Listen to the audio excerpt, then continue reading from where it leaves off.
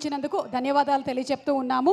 And అలాగే ఇప్పుడు వేదిక మీదకి రైటర్ డైరెక్టర్ యాక్టర్ రవి గారిని సాధారణంగా ఆహ్వానించేస్తున్నాము రవి గారు to please come on the stage మీ అందరికీ ఇంకో సంగతి తెలుసా?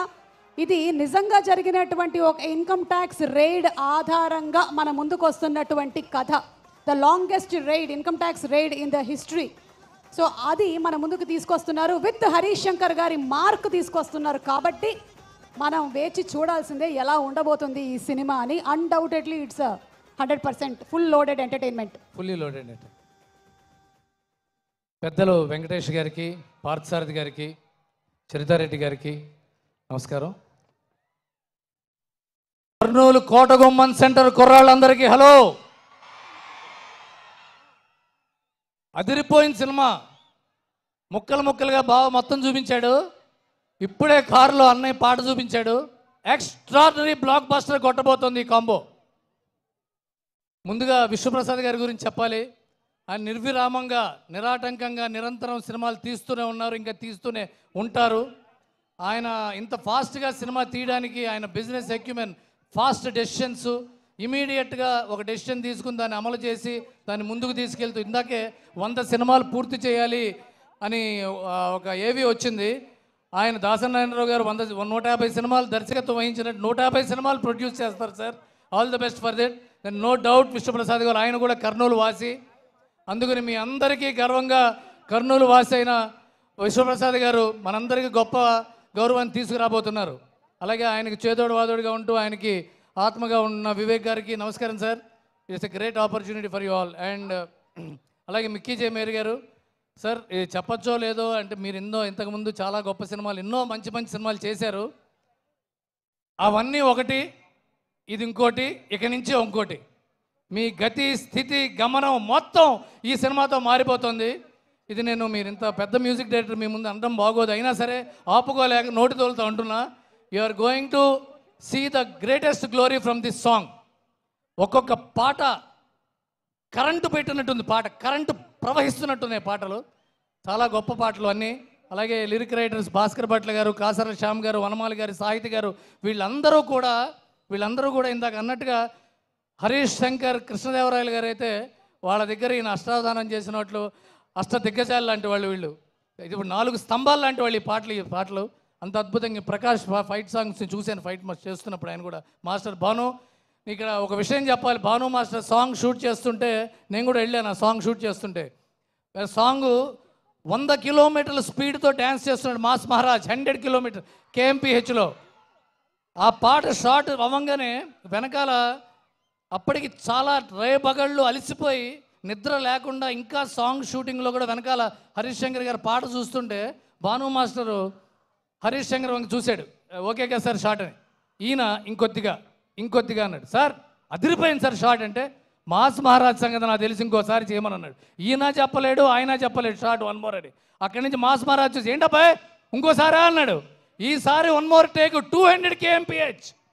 అది మాస్ మహారాజ్ ఎంజర్ ఎనర్జీ. అలాంటి నాన్ స్టాప్ ఎనర్జీతో వస్తుంది ఈ పాట ఈ సినిమా. ఇకపోతే మాస్ మహారాజ్ గారి గురించి చెప్పాలి చెప్పాలి అంటే ఎలా ఉంటుందంటే నాకు ఈవెన్ హరీష్ శంకర్ కూడా మా గురించి మేము చెప్పుకున్నట్టు ఉంటుంది.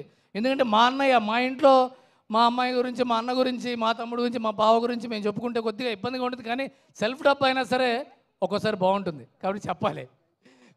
బాగంటే బావ హరీష్ శంకర్ గారి గురించి ఎక్కువ మాట్లాడి నాకు ఈగో ప్రాబ్లం మొత్తంతో ఒక్క ముక్కలో చెప్పాలి అంటే పూరి జగన్నాథ్ సినిమాలో హీరో ఎలా ఉంటాడో హరీష్ శంకర్ నిజ జీవితంలో అలా ఉంటాడు. అలాంటి ఎనర్జీ అలాంటి యాటిట్యూడ్ అలాంటి యారగెన్స్ నిజాయితీ వల్లే వస్తుంది. నిక్కచ్చిగా ఉంటే వస్తుంది అది. హరీష్ శంకర్ దగ్గర ఉంది. అందుకనే కొద్దిగా బలుపు పొగరు కూడా ఆ నిజాయితీ వల్ల వస్తుంది. ఇకపోతే భాగ్యశ్రీ బోడ్సే గారు ఆవిడ ఫస్ట్ డే చూసినప్పుడే అమ్మా హరీష్ శంకర్ సినిమా చేసిన తర్వాత శృతి హాసన్ గారు పూజా హెగ్డే గారు కెరీర్ లాగా మీ కెరీర్ ఉండబోతోంది ఈ సినిమా తర్వాత. This is going to be a signature heroine of Harish Shankar మీరు హరీష్ శంకర్ కెమెరా లెన్స్ నుంచి వస్తున్నారు. This is your luck and your అద్భుతమైన మీకు ఒక భవిష్యత్తు ఉంది ఫ్యూచర్ ఉంది ఈ సినిమాతో. Congratulations on that and Ayananka Bose my brother it's been a great journey working with you it's going to be great feast for every eye and అన్నయ్య చివరిగా ఎక్కువ సమయం తీసుకుంటే మళ్ళీ సుమ గారు పిప్పిప్పి ఇంక చాలే అంటుంటారు ఆవిడ. అందువల్ల పి. మాస్ మహారాజ్ రవితేజ్ గురించి ఒకటే ఒక విషయం చెప్పాలి. నేను వచ్చిన చాలా నాళ్ళ నుంచి ఇండస్ట్రీలో నాకంటే ముందు హీరోలు ఉన్నారు నా తర్వాత చాలామంది అంటే కింద నుంచి పైకి వచ్చి సూపర్ స్టార్స్ అయిన వాళ్ళు ఉన్నారు. ఎక్కువ మందిని నేను కలుస్తూ ఉంటాను. చాలామంది హీరోలు ఏమంటారు తెలుసా? నేను ఎప్పటికైనా రవితేజ్ అంత స్టార్ అవ్వాలన్నా అంటుంటారు. ఇది నిజం. బావా రవితేజ్ లాంటి హీరో అవ్వాలి అంటే నిరంతరం పనిచేయాలి నిరంతరం నవ్వుతూ ఉండాలి.